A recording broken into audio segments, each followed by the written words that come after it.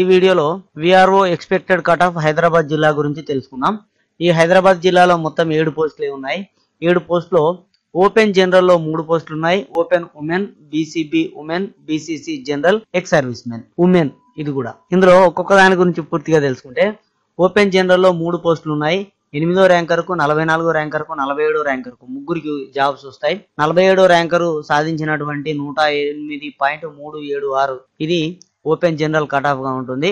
Open women ఒకే post ఉన్నది కాబట్టి నూట తొంభై ఏడు ర్యాంకర్ నూట నాలుగు పాయింట్ రెండు రెండు మూడుకు వస్తుంది బీసీబీ ఉమెన్ ఒక్కరే ఉన్నారు కాబట్టి టూ ఫార్టీ వన్ ర్యాంకర్ నూట మూడు పాయింట్ రెండు ఐదు మూడుకు వస్తుంది.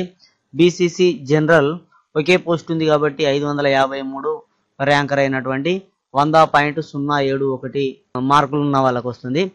ఇందులో ఎవరైనా వేరే జిల్లాలో ఒకవేళ తీసుకుంటే ఇందులోకి వెళ్ళిపోతారు.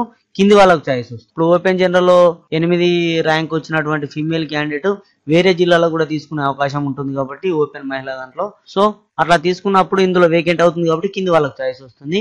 ఒకవేళ తీసుకోకపోతే ఇంతవరకే ఉంటుంది. ఇది కేవలం ఎవరి జిల్లాలో వాళ్ళు పోస్టింగ్ తీసుకున్నప్పుడే హండ్రెడ్ పర్సెంట్ ఇది. ఎవరైనా మారినప్పుడు ఎయిటీ ట్వంటీ నిష్పత్తులలో ఎవరైనా మారినప్పుడు కొంచెం ఒకరు ఇద్దరు ఎంతమంది మారితే అంతమందికి బెనిఫిట్ అయ్యే అవకాశం ఉంటుంది కాబట్టి ఈ కట్ ఆఫ్ని ప్రాథమికంగానే భావించండి. ఇదే విధంగా చాలా రకాలైనటువంటి విషయాలను మీ ముందుకు నేను తీసుకొస్తాను. మీకు నోటిఫికేషన్ రూపంలో అందాలంటే నా ఛానల్ సబ్స్క్రైబ్ చేసుకొని బెల్ బటన్ క్లిక్ చేయండి.